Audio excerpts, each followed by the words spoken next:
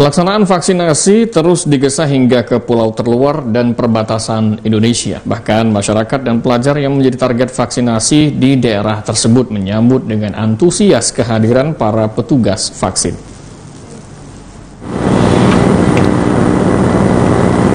Birunya langit dengan ombak yang cukup tinggi yang menemani perjalanan rombongan petugas vaksinasi menuju Pulau Terong, Kecamatan Belakang Padang, yang merupakan salah satu pulau terluar di kota Batam terasa berbuah manis karena kedatangan mereka yang terdiri dari Binda Kepri, Bea Cukai Batam, dan tenaga kesehatan disambut antusias oleh masyarakat, bahkan sudah menunggu untuk divaksin.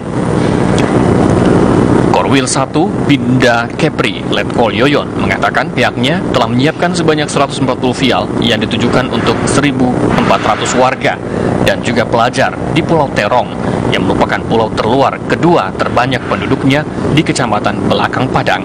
Tidak hanya mengumpulkan pelajar, namun petugas juga mendatangi setiap rumah atau sistem door to door, sekaligus memberikan sembako yang disiapkan sebanyak 500 paket. Kepri bekerjasama dengan uh, Bea Cukai Kepri, Bea Cukai Batam. Ya, kita menjemput bola, ya, kita melaksanakan vaksinasi di pulau terluar, yaitu Pulau Terong. Hari ini kita melaksanakan 1800 ya 1081 vaksin dan hari ini kita sebarkan juga uh, sembako sebanyak 500 sembako yang kita bagikan kepada masyarakat-masyarakat yang kurang mampu yang ada sekitar uh, Pulau Terong.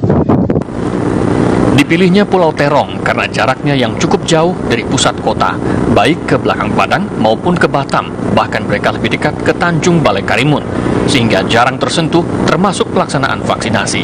Karena sebagai salah satu pulau terluar di kota Batam, warga membutuhkan biaya cukup besar untuk menuju pusat kota.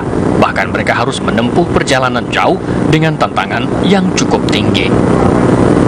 Dari Batam Kepulauan Riau, Rizky Kurniawan, TVRI melaporkan.